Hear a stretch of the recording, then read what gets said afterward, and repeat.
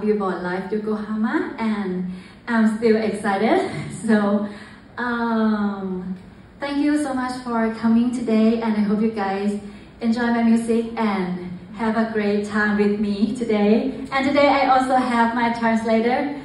Okay, so this is my translator. あ皆さんこんばんは。えっと今回ですねあの ビルボードライブ横浜2回目となりますけれどもまだまだドキドキワクしてます。そしてですね皆さん本当に今日は一緒に楽しんでいきましょう。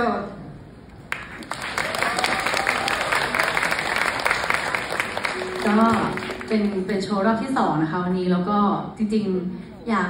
คือมามาโชว์ที่ญี่ปุ่นหลายครั้งแล้วค่ะ มาประมาณรอบนี้น่าจะเป็นครั้งที่สี่ค่ะแล้วก็ทุกครั้งที่มาเนี่ยพยายามพูดแบบ สื่อสารค่ะ แล้วก็รู้สึกว่าแบบครั้งนี้เนี่ยมาเล่นได้เล่นทั้งสองโชว์ค่ะ รู้สึกว่าอยากให้ทุกคนอะเอนจอยกับดนตรีของอิงมากๆนะคะ ก็เลยคิดว่า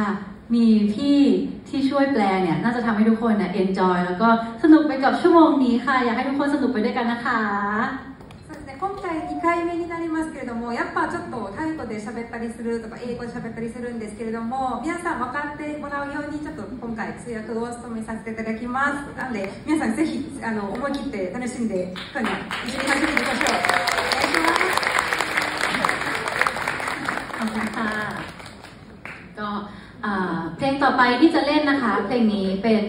เพลงซิงเกิลใหม่ของอิงเองนะคะแล้วก็เพลงนี้เนี่ย